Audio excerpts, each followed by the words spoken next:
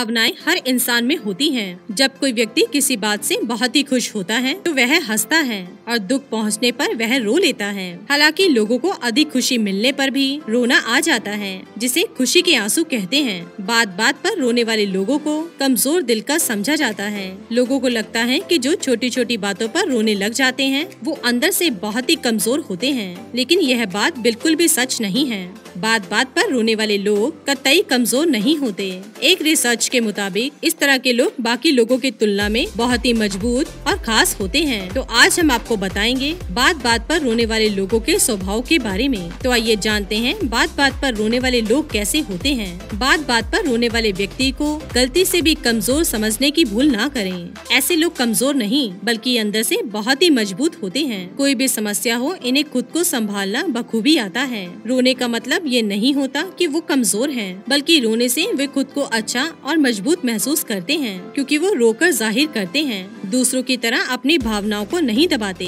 कहते हैं कि रोने से तनाव दूर भाग जाता है। तनाव होने पर व्यक्ति को खुलकर रोने की सलाह दी जाती है। ऐसा इसलिए क्योंकि तनाव या परेशानी होने पर रोना औषधि की तरह काम करता है। ऐसा करने पर आप फ्रेश महसूस करेंगे और आप देखेंगे कि आपका सारा दुख टेंशन आँसू के साथ बह गया है। इमोशनल व्यक्ति एक अच्छा दोस्त तो साबित होता है। कुछ लोग दूसरों की परेशानी को समझे बगैर उन्हें सलाह देने लगते हैं। लेकिन एक इमोशनल व्यक्ति दूसरों की परेशानियों को भली भांति समझता है और उनकी फीलिंग्स की कदर करता है। उनमें दिखावा नहीं होता। यानी कि बात बात पर रोने वाले लोग दूसरों की भावनाओं को बड़ी अच्छी तरह से समझते हैं। रिसर्च के अनुसार यह भी पता चला है कि बात बात पर रोने वाले व्यक्ति बिल्कुल सादिग्ध होते हैं। उनके मन में किसी प्रकार का किसी के लिए बुरा भाव नहीं होता।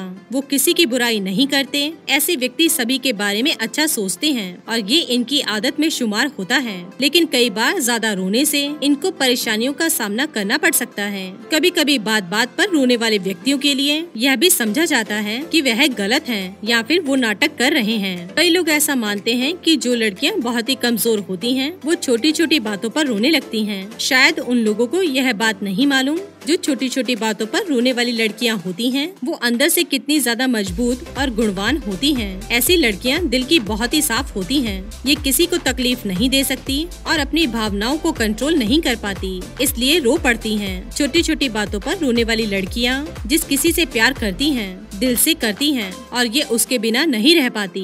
बात बात पर रोने वाली लड़कियाँ किसी को नुकसान पहुँचाने के बारे में सोच भी नहीं सकती और ये कभी किसी का फ़ायदा उठाने के बारे में भी नहीं सोचती। ऐसी लड़कियाँ किसी से मदद भी नहीं मांग सकती, जिस कारण से इन्हें अकेलापन महसूस होता है और दुख में आँखों से आँसू आ जाते हैं। इनके मन में किसी के लिए बुरे विचार नहीं होते और न ही ये किसी से दुश्मनी करती हैं। अगर आपके पास भी ऐसा कोई व्यक्ति है तो उस पर गुस्सा ना करें, बल्कि उसको समझाएँ। उसको आपके साथ की ज़रूरत होती है। अगर आपकी पत्नी ऐसी है तो आप बहुत ही भाग्यशाली व्यक्ति हैं, क्योंकि आपको लाइफ में ऐसा पार्टनर मिला है, जो आपको कभी धोखा नहीं देगा।